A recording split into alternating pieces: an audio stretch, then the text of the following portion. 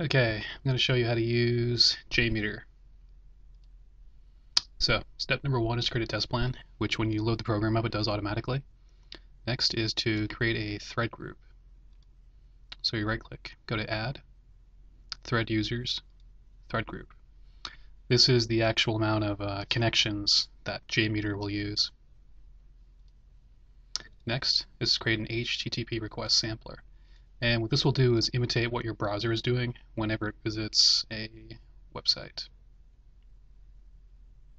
So you can see that JMeter supports multiple request types. You can do FTP, um, SMTP, SOAP, RML, uh, XPC, so you can do many different types. Um, for now, I'm just going to do HTTP requests.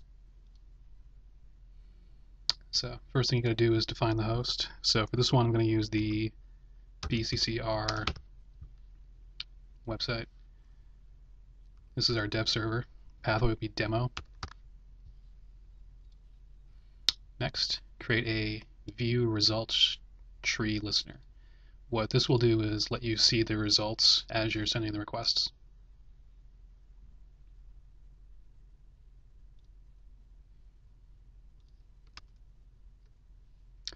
Next you have view results in table.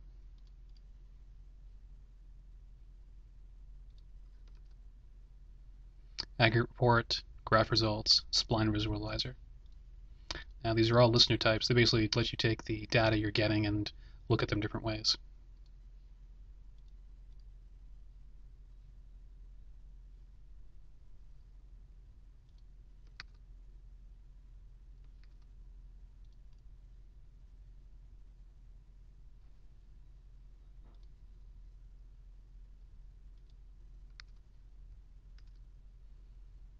Okay, now we're going to save our test plan.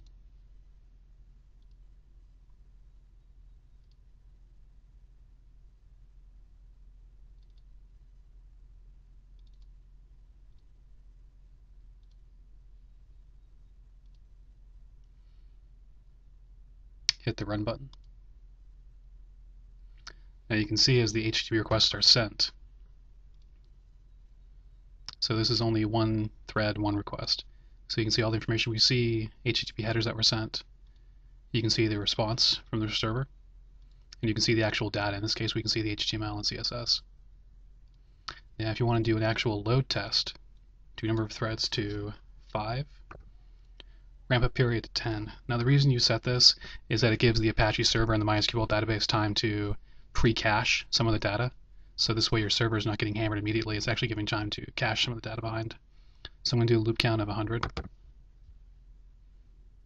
Now we go back, hit the play button. Now you can see the requests getting sent right now to the dev server. Here's the threads viewed as a table. Now here's the interesting one. This is graphing the results.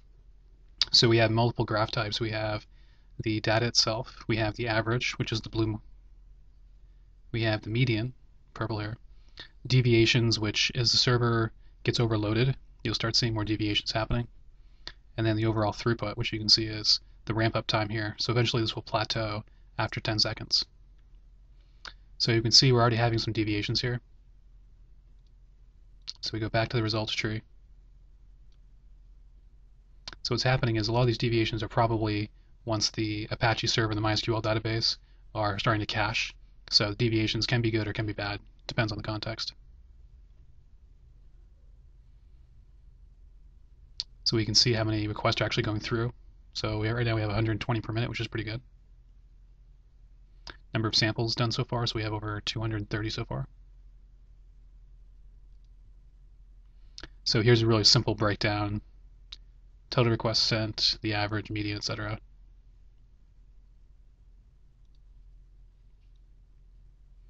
So you can see here the dev server is able to handle all these requests. So basically right now we're imitating is five people looking at the site and browsing it moderately aggressively. So if you wanted to imitate a real server load, what you could do is crank this number up to uh, 300, 400, 500, and this will imitate what the site's being done, what the site's having to handle as it's actually being used day to day. And you can get those results as far as how many simultaneous users we have from the uh, Google Analytics for the site. So you can see the throughput here is starting to level off a little bit. So we've already reached that 10 second mark. So it's staying pretty consistent. Again, you can see the time here. It's leveled off quite a bit, which is nice. So I'm going to stop the test early. And so you can export the results if you want to. Um, if you want to redo the if you want to redo the test, what you can do is you can click the clear all button here, and this will wipe all the results. So one of the interesting things you can do here too is you can actually put in uh, post data, so you can seduce form submissions. So you can imitate, um, you know, logging in, doing a search. You can also imitate uh, cookies. So for example, if you want to log in, you're going to have to have a cookie, and you can actually do this here. If you want to do a complex search, you can use the post body. You can change the method here to you know whatever we need to be, and you can also imitate uh, AJAX requests. So you can actually change this right here would be the URL you're going to. So if you want to do mains login, that'd be the login screen, or you can go to advanced search, so you can do searches on this. Uh, you can do a few more fine detail things like the connect period, the response time to wait out. So yeah, that's um, basic overview of how uh, jQuery operates. So hope this helped you out.